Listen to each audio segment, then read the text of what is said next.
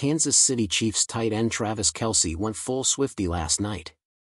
Fresh off the heels of Taylor Swift's record-breaking concert at Los Angeles' SoFi Stadium on March 29, 2024, Kelce threw a star-studded bash to celebrate the tour's success. Details are under wraps, but social media hints at a night filled with A-list guests, themed decor reflecting Swift's musical eras, and plenty of dancing.